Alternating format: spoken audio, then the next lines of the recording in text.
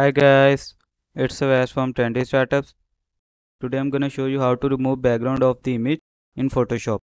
So let's get started. So to remove background of the image, you have to simply open the Photoshop.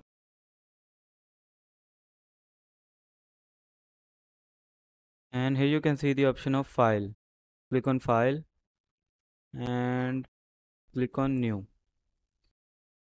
So first we have to create a blank page set the properties how much you want for example width I have set width 800 and height 1000 after setting the properties click on ok. So you can see our page is created. Now simply import the image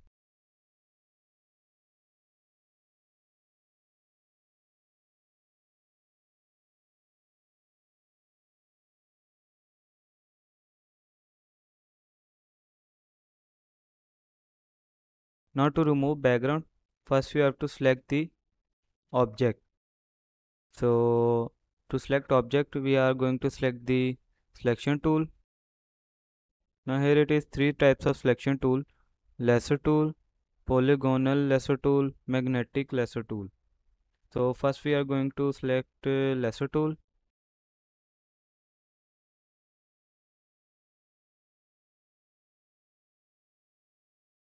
so you can see we are not able to select the object properly with this tool. So we are going to select the next tool that is polygonal lasso tool. Press left click and then move the mouse from here.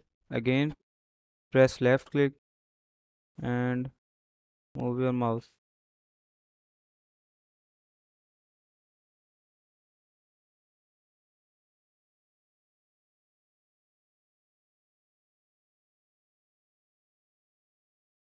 this tool is better than the lasso tool but we don't need this. We need more effective.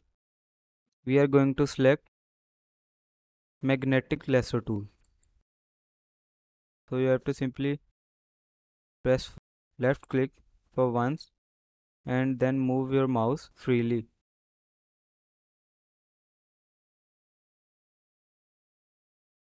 So magnetic lasso tool is more effective than the lasso tool and polygonal lasso tool.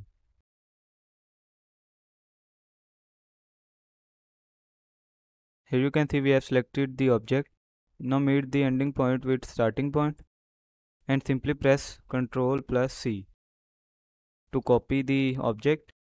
So you can see this icon so you have to simply click on this and press Ctrl plus V now move the image into center so you can see we have removed the background of the image.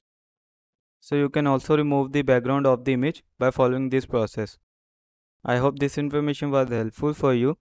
Thank you for watching. Have a good day